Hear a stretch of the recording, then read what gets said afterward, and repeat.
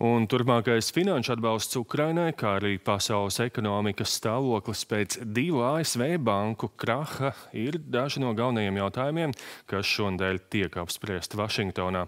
Tur norisinās Starptautiskā valūtas fonda un Pasaules bankas pavasara sanāksme. Ukrainas rekonstrukcijai būs vajadzīgi vairāk nekā 400 miljardi eiro. Tā ir aprēķinājusi Pasaules banka.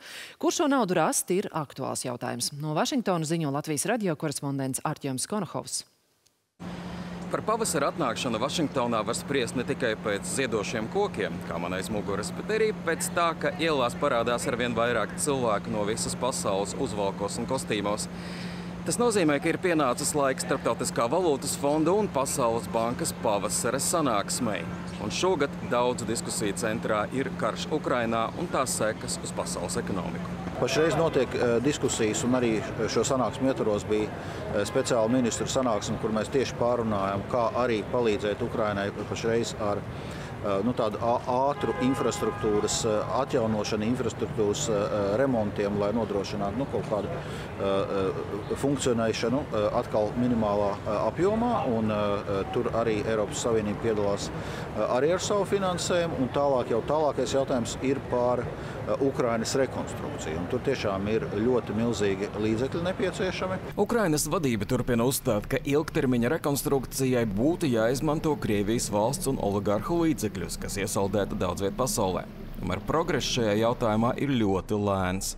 Tas ir ārkārtīgi jūtīgs temats, jo vairākas Eiropas valstis baidās, ka gadījumā, ja tās atņems Krievijas valstī un oligarhiem naudu, tad Kremlis spērs atbildus soļus un konfiscēs Eiropas uzņēmumu īpašumus un līdzekļus, kas joprojām atrodas Krievijā. Sarunas Vašingtonā notika arī par Eiropas Savienības un ASV tirsniecības attiecībām. Kā zināms, ASV valdības subsīdijas zaļo tehnoloģiju uzņēmumiem draud izspiest Eiropas ražotājus no šī tirgus. Tādēļ sarunā ar ASV tirsniecības pārstāvi Katrīnu Tai Dombrovskis mudināja izveidot starp Eiropu un ASV zaļo tirsniecības telpu. Kopumā eh, šis eh, darbs eh, notiek un reakcija ir pietiekami konstruktīva, bet paralēli mums, protams, notiek diskusijas arī par ASV inflācijas mazināšanas aktu, kuri ir virkne diskriminējoši nosacījumi attiecībā pret Eiropas Savienības kompānijām. Līdz ar to mēs strādājam arī ar to, lai šos negatīvos aspektus mazinātu. Kritika pret ASV valdības rīcību izskan arī no Kanādas. Tomēr Vašingtonas politiķi saka, ka tā nav pamatota.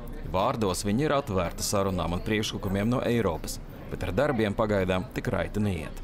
Arcīms Konahaus Latvijas Rādio speciāli Latvijas televīzijai no Vašingtonas.